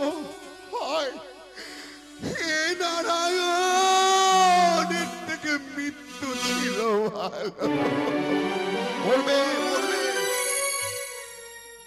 তখন কত করে বলেছি, সংসারের প্রতি মন দাও মন দাও। সে কথা তো তুমি কান দাওনি হ্যাঁ? এখন বোঝো ঠেলা হ্যাঁ? বেরো বেরো বলছি। হে ভক্ত এটাই হলো সংসার দর্শন। প্রত্যেকটা মানুষের জীবনে এমন একটা দিন আসে, কারও জীবনে বা প্রকট ভাবে দেখা দেয়, কারও জীবনে বা প্রচ্ছন্ন ভাবে হে ভক্ত মন্ডলী অপরাধ দেবেন না। আমার সংসার, আমার ছেলে, আমার মেয়ে, রাধে রাধে। কেউ কারও নয়। বলুন তো বাবাগণ, যতদিন শরীরে সামর্থ্য আছে, দুহাত ভরে রোজগার করে মুঠো মুঠো অর্থ এই সংসারের মুখে ছুঁড়ে মারতে পারবেন, ততদিন ভক্তি আছে, শ্রদ্ধা আছে, ভালোবাসা আছে। কিন্তু বলুন তো, যেদিন নাকি কর্মক্ষমতা হারিয়ে যায় বাবা, দুটো পকেট গড়ের মাঠ হয়ে যায়। ভালোবাসা থাকবে তো? থাকবে? আয় করতে না পারলে। তখন এই ভালোবাসা নামক বস্তুটা যেন কর্পূরের মতো কোথায় উড়ে যায়। সংসারের কাছ থেকে জোটে অবহেলা, অনাদর, অভক্তি, অশ্রদ্ধা। এ জগতে মায়েদের অবস্থাও তাই মা, অপরাধ দেবেন না। যতদিন মুখ বন্ধ করে ছেলে ছেলের বয়ে সংসারে গাধার মতো পরিশ্রম করতে পারবেন ততদিন মান আছে, সম্মান আছে, ভক্তি আছে, শ্রদ্ধা আছে, ভালোবাসা আছে। কিন্তু বলুন তো মা দিন তো মানুষের সমান যায় না, যেদিন একটু ঝাঁপিয়ে কাজ করতে গেলে মুখের ভেতরটায় ধরাস ধরাস করে ওঠে। কানেও শুনি না, চোখেও ঝাপসা দেখি। হাঁটুতে মাজায় বড় যন্ত্রণা, বসলে ওঠা যায় না, উঠলে বসা যায় না। ভালোবাসা থাকবে তো কিমা তখন ওই ভালোবাসার মানুষেরা এক হেঁচকা টানে ঘর থেকে বার করে নিয়েছে বারান্দার এক কোনায় তক্তপোষের ওপর আশ্রয় করে দেয়। এই পাপ চোখে এটাও দেখেছি মা, অপরাধ দেবেন না। এই গানে ওঠার আগে এক ভদ্রলোককে দেখলাম। ইয়ারপুরে যার বাড়ি। খাওয়া জুটত না, কোন রকমে মুড়ি ভেজে এরোর বাড়িতে কাজকর্ম করে বাবা যে ছেলেকে মানুষ করেছে। বড় চাকরি অফিসার হয়েছে। বাবাকে ছেড়ে শহরে গিয়ে বাস করছে বারুইপুরে। বাবার দিকে ফিরেও তাকায় না। পাড়া প্রতিবেশী, আত্মীয় স্বজন সকলে বললেন, ওরে বাপ মাস গেলে অন্তত আড়াই হাজার টাকা তোর বাপের হাতে তুলে দিস। এক মাস দিয়েছিল। তারপর থেকে ছেলের আর পাত্তা পাওয়া যায় না। এই যে শীত গেল ছেলে ছেলের বউ, নাতি নাতনি নিয়ে ঘরের মধ্যে লেপ চাপা দিয়ে, একটা লেপে হয় না, লেপের ওপর বালাপোষ চাপিয়ে নিশ্চিন্তে ঘুমিয়ে আছে। আর বৃদ্ধ বাবা মার কপালে জোটে আদ্যিকালের একটা ছেঁড়া কাঁথা। বারান্দার মধ্যে প্লাস্টিক টাঙিয়ে কোন রকমে শুয়ে আছে। খিদে পেলে হাড়িতে ভাত আছে। কিন্তু নিয়ে খাওয়ার ক্ষমতা এই তো মানুষের জীবন। তাই দেখবেন প্রত্যেকটা মানুষ জীবন সামনে এসে সকলে কিন্তু অবসাদগ্রস্ত হয়ে পড়ে। ওমা, সংসারকে আপনি যা দিয়েছেন, সংসার কি আপনাকে তেমন ফিরিয়ে দিয়েছে? পেয়েছেন রিটার্ন কেউ কোনোদিন পায়নি, আপনিও পাচ্ছেন না। ভবিষ্যতেও কেউ পাবে না। কারণ সংসার নিতে বড় ভালোবাসে। দিতে চায় না কিছু। তাই দেখবেন, টাকা আছে, গাড়ি আছে, বাড়ি আছে, ছেলে আছে, মেয়ে আছে, তবু যেন কি নেই। তাই তো প্রত্যেকটা মানুষ জীবন সায়ন্যে এসে তিনটে মাথায় এক করে কপালে হাত দিয়ে শুধু মনে মনে একটা কথাই বলে হয় কি ছেড়েছি কি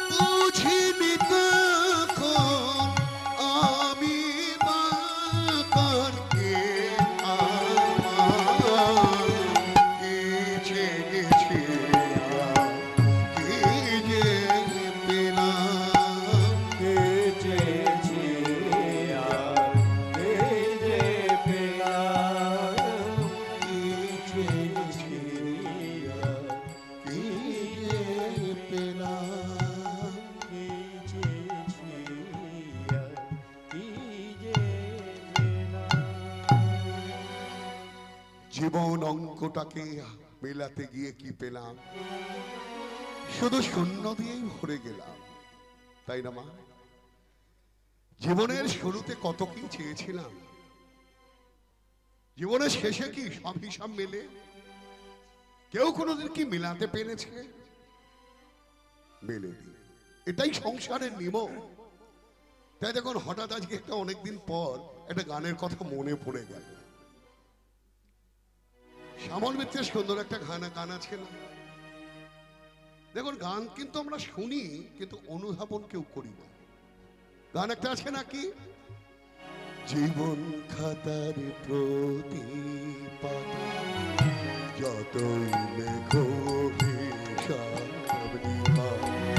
কিছুই রবে না।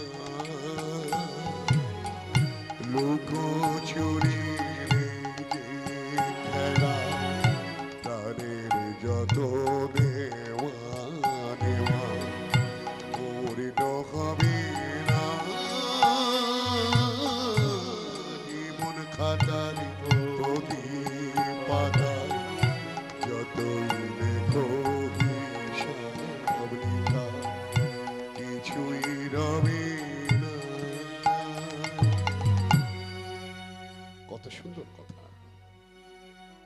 যতই হিসাব লিখি না কেন ব্যালেন্স শিট টানতে গিয়ে তখন জমার ঘরে শূন্য ছাড়া আর কপালে কিছুই জোটে না।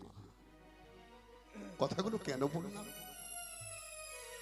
বাসুদেবের জীবনটা একবার লক্ষ্য করে দেখুন। সংসারে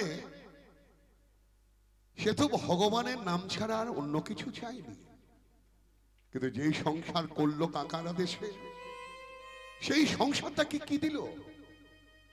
জ্বালা যন্ত্রণা, অবহেলা, অনাদর, অভক্তি, অশ্রদ্ধা। এক সময় এত বড় আঘাত সহ্য করতে পারল না, অচৈতন্য হয়ে লুটিয়ে পড়ল ধরনের ধুলায়। আর সেই সুযোগে এই স্বার্থন্বেষী মানুষের দল ছেলে এসে বলছে ও মা বাপটা মনে হয় মরে গেছে। না হলে হয়তো এখনই মরে যাবে। ধরো ধরো। এই সুযোগে এই পচা করা বাপটাকে বনের মধ্যে ফেলে দিয়ে আসি। ধরো মা, ধরো।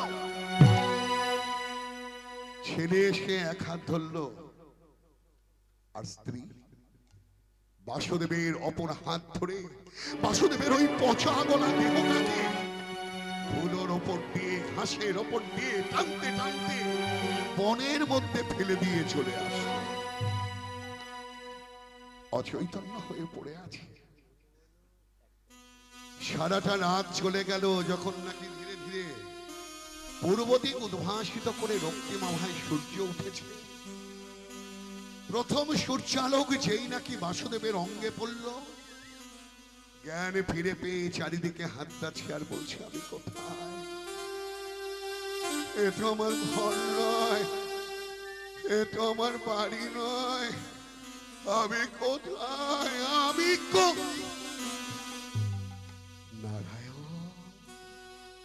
বুঝেছি নারায়ণ।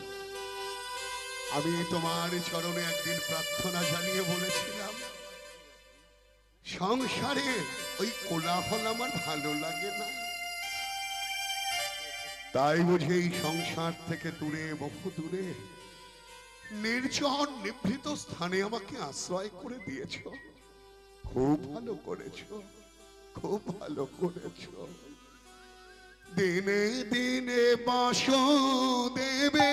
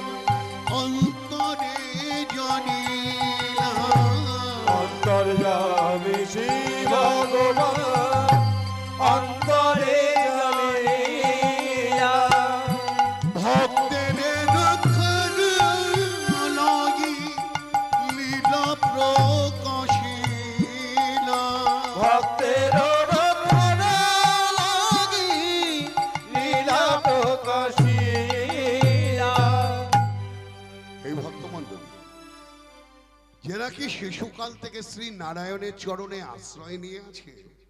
তার কি ওই দশা হতে পারে? কি মা, হতে পারে? ভগবান বললেন, আশ্রয় নিয়া ভজে, তারে কৃষ্ণ নাহি তেজে আর সব মরে অকারণ। তাই তো যে নাকি নারায়ণের চরণ আশ্রয় নিয়ে আছে, তার তো ওইভাবে দুর্ভোগ হতে পারে না। তাকে রক্ষা করার জন্য শ্রী ভগবান কিছু না কিছু করেন। কি করলেন? একটা নতুন লীলা প্রকাশ করলেন। কি? তবে দেখো গোমালিনী দগিত ভাণ্ড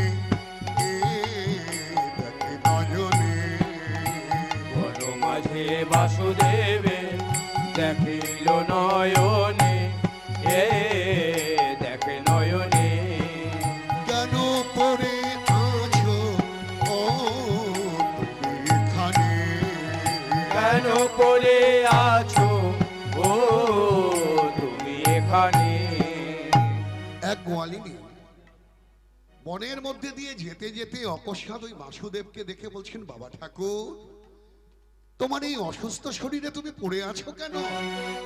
বুঝেছি বুঝেছি। তোমার এই মহাব্যাধি কুষ্ঠ হয়েছে, তাই তোমার ছেলে, তোমার বউ তোমাকে এই বনের মধ্যে ফেলে চলে গেছে। এই কথা তো। কিন্তু বৈষ্ণব তো কোনোদিন পরনিন্দা, পরচর্চা করে না আমাদের মতো। রাধে রাধে। এই জগতের মানুষ, আমরা আমাদের ভুল দিন কিন্তু কখনো দেখি না। কি দেখি? অপরে কি করল তার চুলচেরা বিশ্লেষণ করতে করতে সময় পার করি। কিন্তু বৈষ্ণব হলো তার বিপরীত। অপরের ভুল না দেখে নিজের ভুল অন্বেষণ করে তার যথাযথ প্রতিবিধান করতে সে চায়। তাই বলছেন, ওরে গোয়ালিনী মা, আমার ছেলে কিংবা আমার বউ ফেলবে কেন? ফেলেছে আমার কর্মফল কর্মফল। জানিস মা, আমি তো কোনোদিন এক মনে তার সেবা করিনি। তার পূজা করিনি। মায়ার জন্য চোখের জল ফেলেছি, কিন্তু সেই জলে কখনো আমার নারায়ণের চরণ ধুয়ে দেইনি। তাই তো জন্ম জন্মান্তরের সেই পাপের জন্য, অপরাধের জন্য শ্রী ভগবান আমাকে পুষ্ট ব্যাধি দিয়েছে। তবে দেখ, সমস্ত কিছু কেড়ে নিয়েও নতুন করে ভজন করার নিমিত্তে আশ্রয় করে দিয়েছে গহন বনের মধ্যে। তাই তোমার নারায়ণকে আমি প্রার্থনা জানিয়ে বলি, কি বলো তুমি বাবা ঠাকুর? কি বলি জানিস?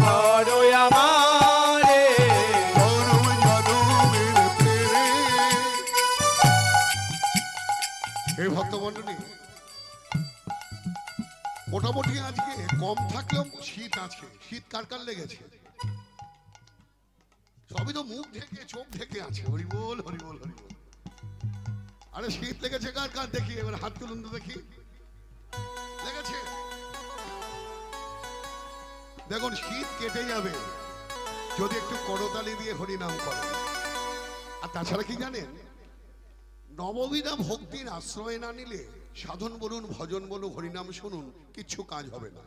নববধী ভক্তির আশ্রয় নিতে হবে। নববিধা ভক্তি কাকে বলে? ভক্তির নটা অঙ্গ। শ্রবণ, কীর্তন, অর্চন, বন্দন, দাস্য, সক্ষ, স্মরণ, পাদসেবন এবং আত্মনিবেদন। আপনারা কালকে থেকে হরিনাম শুনছেন, তাই তো? তাহলে শ্রবণ শুনছেন? এটা তো একতলায় একতলায় পড়ে রয়েছে। এটা হলো বিল্ডিংটা হলো নতলা বিল্ডিং। নতলা বিল্ডিং এর শেষ তলায় উঠলে তবেই ভগবত কৃপা পাওয়া যাবে। তার আগে নয়। তা উঠতে চান? নতলায়? উঠতে চান না? হ্যাঁ, থাকুন আর পায়ে থাকুক উঠতে হবে চেষ্টা করতে হবে। তাই না? তাহলে আমরা দ্বিতীয় তলায় উঠবো। কে কে উঠবেন দ্বিতীয় তলায়? সবাই তো। তাহলে হয়ে যাক। এক দুই তিন।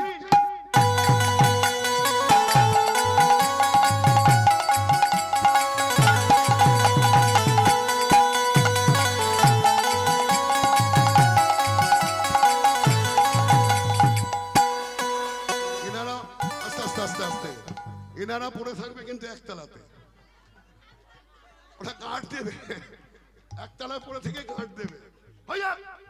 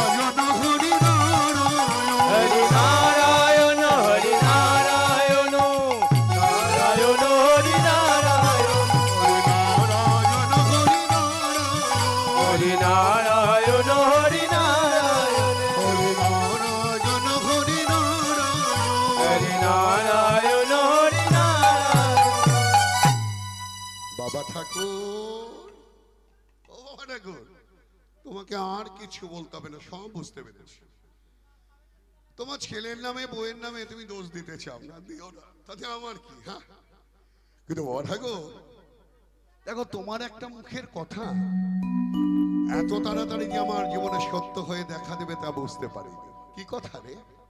তুমি একদিন বলেছিলে যার কেউ নেই। তার আজকে নারায়ণ। দেখো, আমার জীবনেও কেউ নেই, আর তোমার সব থাকতেও মাঝ কেউ নেই। তাই যেন সেই নারায়ণ ঘাট ধরে আমাকে বনের মধ্যে পাঠিয়ে দিল তোমার কাছে। ও দেখো তুমি যেমন ফিরে পেলে তোমার এই মেয়েটাকে আমিও ফিরে পেলাম আমার বাবাকে। এসো না। আমরা বাপ বেটিতে মিলে আমাদের এই সংসারটা নতুন সংসারটা নতুন করে গড়ে তুলি। কিন্তু মানে আমার মতন একটা কুষ্ঠরোগের দায়িত্ব তুই কেন নিবি? কি বললে বাবা ঠাকুর? আমার জন্মদাতা পিতার যদি এমন কিছু রোগ হতো, আমি কি তাকে ফেলে দিতে পারতাম বাবা? আজ থেকে তোমার কোনো কথা শুনব না। আজ থেকে তোমার সমস্ত দায় দায়িত্ব আমার আমার আমার। আশ্রয় নিয়া ভজে তারে কৃষ্ণ নাহিতে যে আর সব অকারণ। কেমন করে ওই গোয়ালিনীর কাছে আশ্রয় করে দিলেন ওই ভক্ত বসুদেবকে। গোয়ালিনী পরিষ্কার পরিচ্ছন্ন করে দেয়, স্নান করিয়ে দেয়, খাইয়ে দেয়, ক্ষতস্থানের মধ্যে প্রলেপ লাগিয়ে দেয়। এমন করে চলছে। কিছুদিন যেতে না যেতে ক্ষতস্থানের মধ্যে পোকা হয়ে গেল। সেই পোকাগুলো যখন নাকি পুজ রক্ত চুষে খায়, অসহ্য যন্ত্রণা সহ্য করতে পারে না।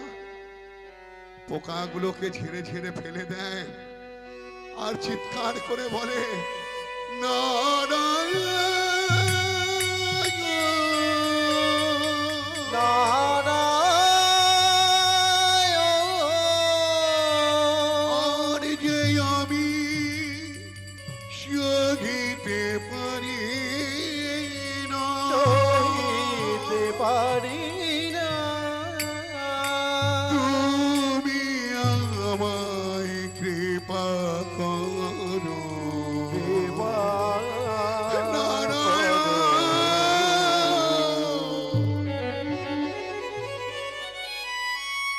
ভক্তের ক্রন্দন কি বিফলে যাবে গো মা? যেই নাম, সেই নামই ভজনিষ্ঠা করি। নামেরও মাঝারে আছে আপন শ্রীহরি। তাই তো শ্রী নারায়ণ নারায়ণ বলে ডাকতে ডাকতে পতিত পাবন শ্রী গৌর হরির চরণে পৌঁছে ভগবান কি আর থাকতে পারে গো? তাই তো ভক্তের ডাকে গম্ভীরা মন্দির থেকে এক ছুটে বাইরে বেরিয়েছিল, না? এইখানে আমরা রেখেছিলাম। তারপর কৃষ্ণ দাস নামক এক পরম বৈষ্ণবকে সঙ্গে নিয়ে তিনি একদিন দক্ষিণ দেশের পথে যাত্রা করলেন। আর পথে চলতে চলতে এক সময় সেই বৃন্দাবনের ভাবে ভাবায়িত হয়ে ব্রজ ভাবে বিভোরা হয়ে আমার গৌর হরি বললেন, রাধে রাধে নাম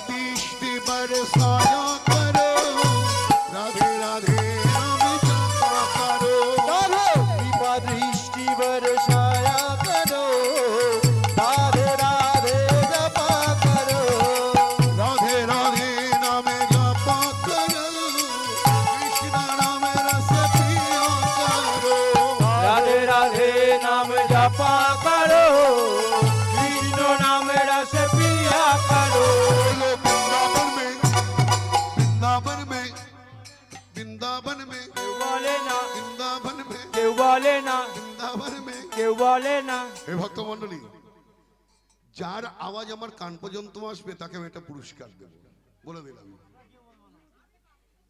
হয়ে যাক बोलो वृंदावन में वृंदावन में गोकुल गांव में यमुना तट में कुंजो गली में पेशी घाट में बंसी मठ में राधा कुंड में अविद्या कुंड में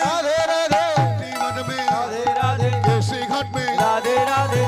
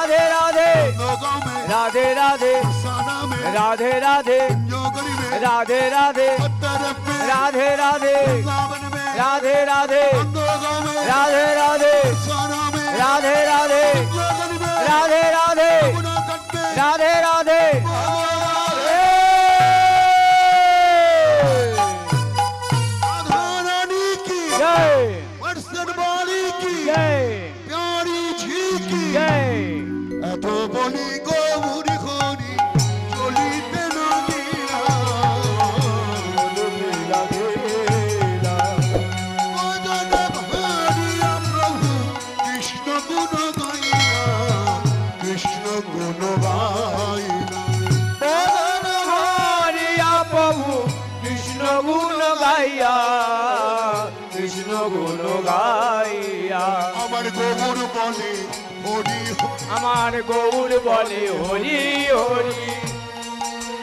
হরি আমার গৌর বলে হরি হরি। গৌর বলে হরি হরি। আমার গৌর বলে হরি হরি। বলি দক্ষিণ দেশে আইলা দক্ষিণ দেশে আইলা হাতের মাঝখানে আসে কহিতে লাগিলা কহিতে লাগিলা হাটের মাঝারে আসি কহিতে লাগিলা কহিতে লাগিলা। জীবে সম্মান দেবে জানি কৃষ্ণ কৃষ্ণ অধিষ্ঠান সকল কৃষ্ণ বর্তমান কৃষ্ণ বর্তমান মাঝে কৃষ্ণ বর্তমান কৃষ্ণ বর্তমান সকল জীবের মাঝে সকল জীবের মাঝে কৃষ্ণ আছে। জীবের মাঝে কৃষ্ণ আছে। জীবের মাঝে কৃষ্ণ আছে। কৃষ্ণকে সেবা করো। জীবের মাঝে কৃষ্ণ আছে। কৃষ্ণ কেনে ভক্তি করো। জীবের মাঝে কৃষ্ণ আছে। এই কথা যদি আজ শোনে গোয়ালিনী। শোনে গোয়ালিনী। বাসুদেবের কাছে আসি কহিছে তখনই। কহিছে তখনই। গৌরহরি দক্ষিণ দেশে হাটের মাঝে এসে কি বললেন? জীবে সম্মান দেবে জানি। দেবে জানি।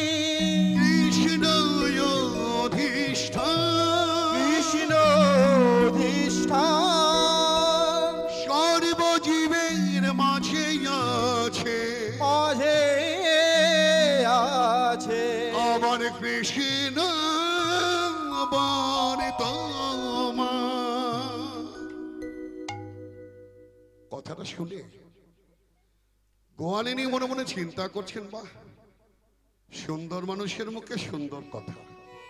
এর আগে তো কোনোদিন কেউ এমন কথা বলেনি। কিন্তু এর অর্থ কি তা তো বুঝতে পারলাম না। আমার বাবা ঠাকুর তো পণ্ডিত। বাবা ঠাকুরকে জিজ্ঞাসা করলি বাবা ঠাকুর বলে দেবে। হাঁটতে হাঁটতে চলে, ছুটতে ছুটতে এসেছে বাসুদেবের কাছে। আর বাসুদেব ক্ষতস্থানের মধ্যে পোকা হয়ে গেছে, মা।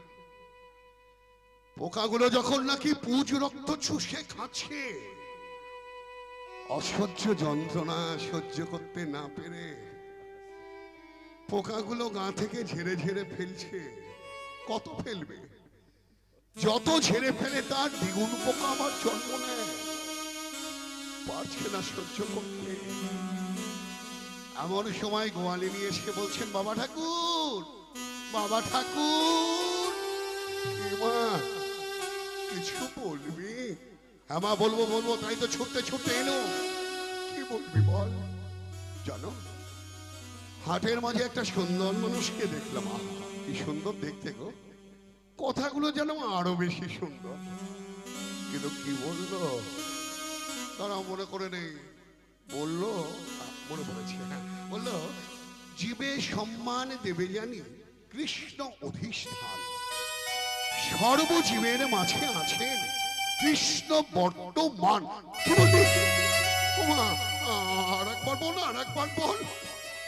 সর্বজীবের মধ্যে কৃষ্ণ বর্তমান তোর ওই সুন্দর মানুষের কথা যদি সত্য হয়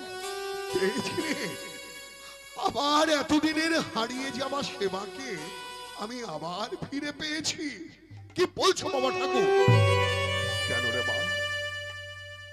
প্রত্যেক জীবের মধ্যে যদি কৃষ্ণ থেকে থাকে, কৃষ্ণ মানেই তো আমার নারায়ণ। আমার দেহের মধ্যে যে অসংখ্য পোকা হয়েছে, তারাও তো জীব। তাহলে তার মধ্যেও তোমার নারায়ণ আছে। যেদিন থেকে আমি কুষ্ঠ রোগগ্রস্ত হয়েছি, সেদিন থেকে আমার নারায়ণের সেবা তো আমি দিতে পারি না। তবে প্রত্যেক জীবের মধ্যে যদি নারায়ণ থেকে থাকে আমার দেহের মধ্যে অসংখ্য পোকা হয়েছে তার মধ্যেও তো নারায়ণ আছে। এই কীটরূপী নারায়ণকে আমি সেবা দেব কিন্তু কি করে? কেন রে মা? দেহ রে থানা করি। হানা করি। বুঝি রক্ত নই বিদ্য ভরি। নৈবেদ্য ভরি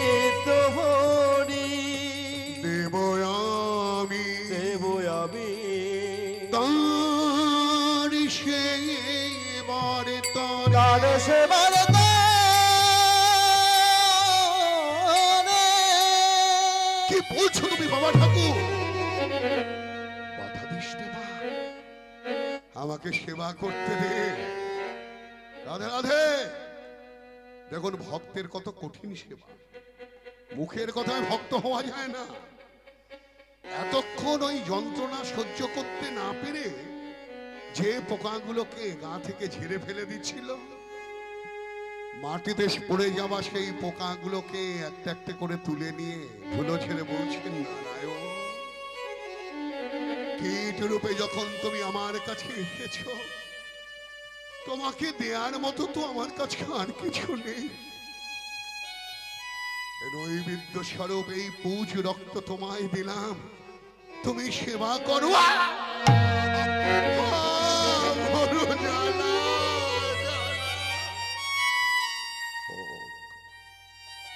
যত কষ্ট যত জ্বালা হয় হোক আমি আর সেবা হতে বঞ্চিত থাকব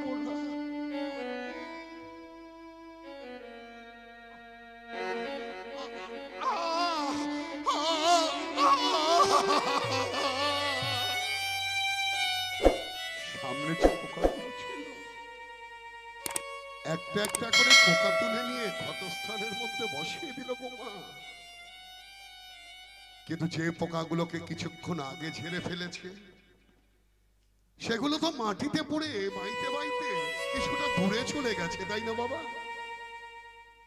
তাকে ধরে নিয়ে আসার ক্ষমতা তো ওই পঙ্গু বাসুদেবের নেই। তাই সেই চলে যাওয়া পোকাগুলোর দিকে তাকিয়ে বলছেন, নারায়ণ নারায়ণ, আমি অতম